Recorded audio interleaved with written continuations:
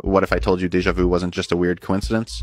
It's the byproduct of something much larger time manipulation experiments. Deep in secret labs, hidden from the public, shadow organizations are running trials that mess with the very nature of time itself. These aren't, these aren't your typical science projects. This is about bending timelines, creating alternate realities, and controlling time loops. Every time you experience deja vu, it's because they've tweaked something in the timeline you're living in. Think about it. Those moments when you're you're sure you've been somewhere or done something before when reality feels just a just a little too familiar.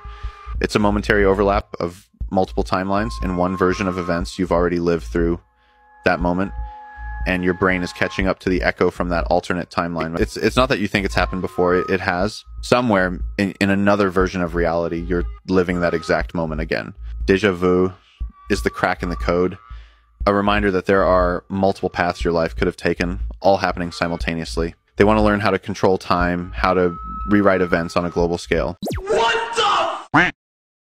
There's a scene on a wall. It's called the Djehutihotep image. And it shows the Egyptians. It's all these cities dudes in profile. It's an Egyptian drawing. Definitely Dynastics made the drawing. And there's 156 dudes when you count them all up and they're pulling a statue that's tied to a wooden sled. Now, we know this statue, there's parts of it still exist. First, it's alabaster. It's not granite. Second, it weighs about 56 tons. That's fine. And you're dragging it on a wooden sled. You can't use that to explain how you move a thousand ton statue. It's not like a sliding scale of difficulty. There's a curve to it. I do grant them the ability to use primitive methods to move stuff up to like 100, 150 tons. But once you start getting to 400, 600, 1,000 tons, material failure, wood's not an issue. That literally sleds would just be crushed or driven into the ground. There's an absolute scale of difficulty that gets applied to these massive objects. They say, like, oh, we know how they did it because they talk about it.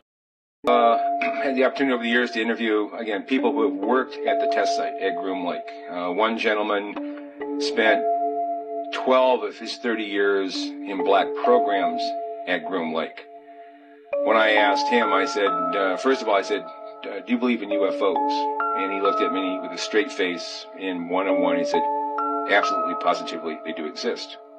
So can you expand upon that? And he said, no, I can't.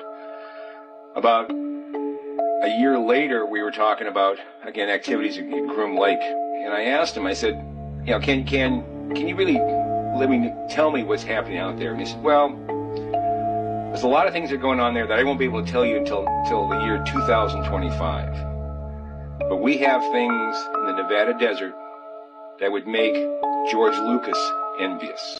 Now, I wonder why 2025. If that's true, is it because the Freedom of Information Act would then make it available to be shared publicly? Um, obviously, to an extent, they're never going to share everything. Or is it something a little more nerve wracking? Uh, like maybe we'll just see it by then, and they won't have to explain anything to us because it'll just be out in the open, uh, which is a more terrifying thought, if you ask me. They hide the real answer to this question from us. How is it possible that people who used horses and carriages built gigantic and intricate buildings like these? Were they supposedly only using hammers, saws, manuals, and basic tools? Does that seem logical to you? Look at these grand structures and ask yourself how they could achieve all this with such primitive methods. It makes you question whether our historical timeline is accurate or completely fabricated to hide something. And it gets even more terrifying. What if the dates of these buildings are wrong? Imagine if that number one wasn't a one at all. Our history could be off by 1,000 years. This leads us to wonder, who could have built these intricate structures? Have you ever heard of Tartaria? Tartaria was a colossal empire that was conveniently left out of mainstream history. But real history can never be fully erased, as many references can be found in old maps and documents. Tartaria was a highly advanced civilization, with technology and knowledge far beyond what we can imagine. Did you know that Lucifer is not the only prince of hell? And the most shocking thing is that Lucifer is not the worst of them all. The Lesser Key of Solomon is a medieval grimoire on demonology that contains descriptions of the seven princes of hell. All of them are considered the rulers of hell and are the leaders of hundreds of legions of demons. Mammon is one of the seven princes of hell and is the personification of greed, wealth, abundance, and injustice. He is considered a fallen angel who represents the greedy pursuit of wealth and power. Mammon seduces people into committing immoral acts to obtain money. Mammon is also a term used to refer to money and material wealth. It is used in the Gospel of Luke and the Gospel of Matthew, where Jesus says you cannot serve both God and mammon at the same time. But what makes Mammon the worst of all is that his nature is more carnal, so he can take any form, and he enjoys roaming the earth in search of lost souls. If one day a person or animal close to you starts acting strangely, you should be very careful. What if I told you there are cities on private islands stuck in other time periods where the 1950s, 60s, 70s, and 80s never ended? It all started decades ago as a social experiment funded by billionaires and governments to create isolated micro societies locked into specific time periods where citizens would be kept completely in the dark about any technological or cultural advancements beyond their assigned decade. There's an island where everything is still 1950s Americana, the cars, the music, the fashion. Citizens there have never heard of the internet.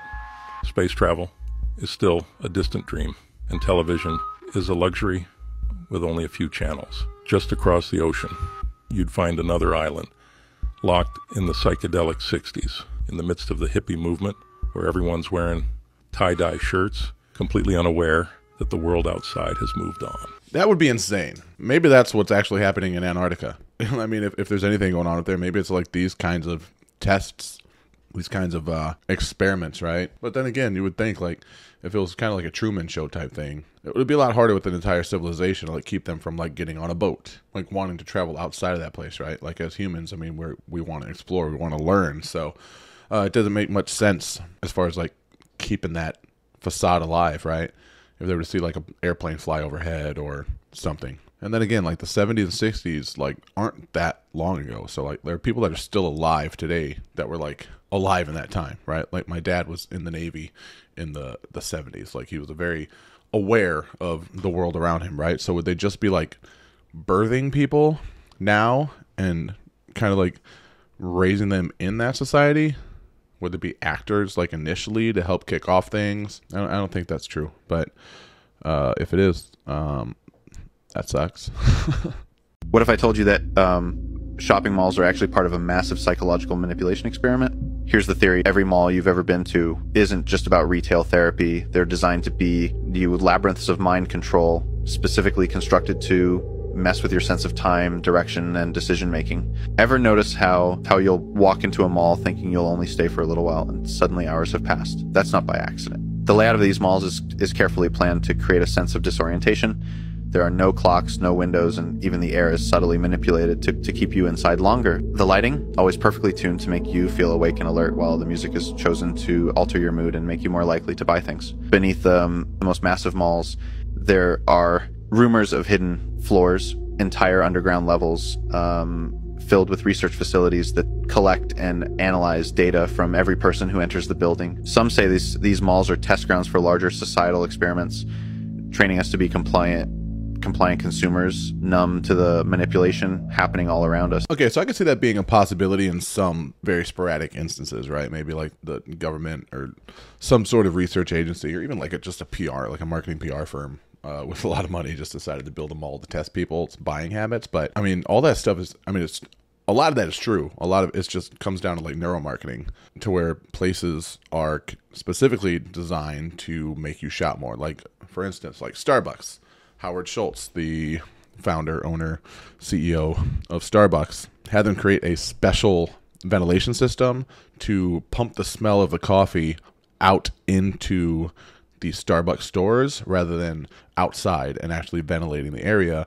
That way it triggers your senses and when you smell that, you smell coffee, it you immediately start thinking about Starbucks. And same with um, casinos. You know, casinos have lights, they don't have windows, they don't have clocks, and it's all to kind of help you lose track of time and just spend more money and consume more, consume more, consume more. So uh, I don't think it's, I mean, it's, it's certainly nefarious in its own right, basically manipulating people's minds to buy more stuff. I'm been in marketing for over 10 years. I completely understand how that works. Uh, it can be very unethical at times, unfortunately. Uh, but I don't think in this specific case with the shopping malls, it goes deep enough to where it's like like a, like a government research facility uh, in the basement of every shopping mall across America to increase people's spending habits and control their minds to buy more shit. But if that was the case, malls wouldn't be going out of business so rapidly these days with online shopping. The deepest point on continental Earth has been identified in East Antarctica under the Denman Glacier.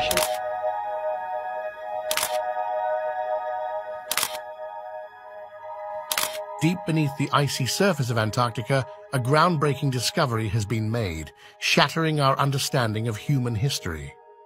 After decades of speculation and searching, a secret human civilization from the inner Earth has finally been found, hidden away in the frozen continent's territories.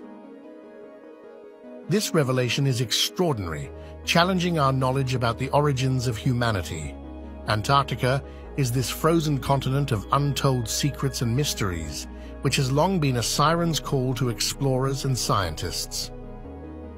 Recent discovery has sparked curiosity about the existence of life and human civilization before it was covered with ice, and also the existence of aliens. What exactly did they find in Antarctica, and what secrets has this ancient civilization been hiding for centuries? Join us in this video as we unveil the mystery of Antarctica. The shocking secret human civilization discovered in Antarctica. For centuries, Antarctica has been shrouded in mystery, its icy surface hiding secrets that have long fascinated scientists and explorers.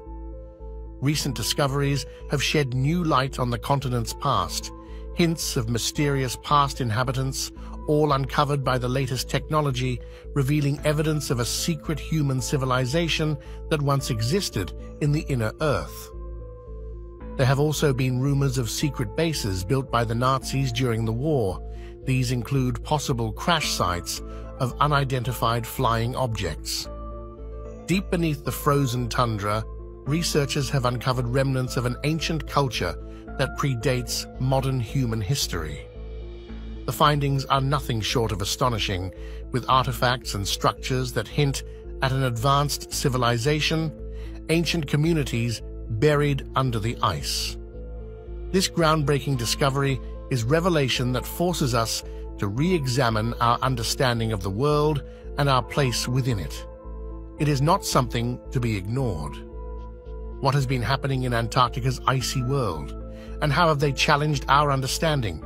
Keep watching to find out. Earth itself is mysterious. It holds so many secrets and has fascinated many researchers explorers, and scientists. Leading to the mystery of Antarctica, many have argued connecting it to Earth being hollow. Actually, the supporters of Earth being spherical say that Aristotle observed the curvature of Earth's shadow on the moon during a lunar eclipse, a phenomenon that only occurs because Earth is spherical. They also point to the principles of gravity, the force that pulls objects towards the center of the Earth, is uniform across the planet's surface, something only possible on a sphere. If Earth were hollow or flat, gravity would behave differently at the edges than it does at the center, leading to strange and observable phenomena that we simply don't experience.